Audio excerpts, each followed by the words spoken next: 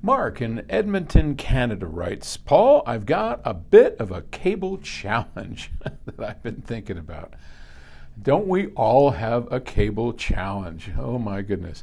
Um, my DAC and preamp are far apart, about 25 feet, and I'm using a long interconnect to bridge that distance. Now, I know that cables all have some level of capacitance, and over that length, it's bound to add up.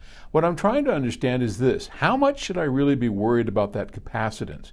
Am I losing detail or high frequency performance because of that long run? And if I am, what can I do about it?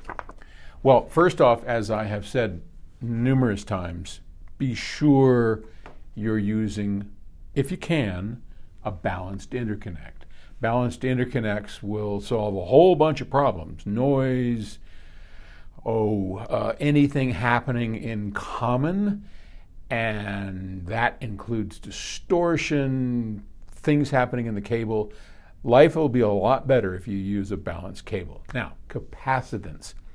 Well, it is true that there is a certain amount of capacitance, usually measured in picofarads per foot on a cable, and that capacitance will act as what we would call a low pass filter, meaning it will pass the lower frequencies and not so much the highs. And the amount of low passing or the reduction of highs that we might experience due to that capacitance depends, of course, the type of cable, the length of the cable, and all of that. My guess is that you're probably going to be just fine with 25 feet. I think I've used 50 without any degradation whatsoever. So the again, if you're using a quality cable, now I use AudioQuest, as most of you know, I like AudioQuest a lot, and they have fairly low capacitance. Don't know what it is, but probably I don't know on the order of 20 picofarads a foot, something like that. So you're looking at what, what would that be, 500 picofarads? I, I just don't think that a 500 picofarad you know, filter is going to do a whole lot to wreck your high frequencies.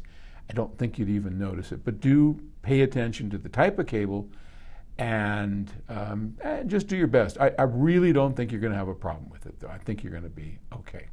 And by the way, as long as we are sitting here, I thought it might be interesting to show you what we call a mule. This, this is an engineering mule. So this is a, a, circuit that uses new GaN FETs. It's an amplifier, power supply, power amplifier. This is a complete stereo 200 watt amplifier.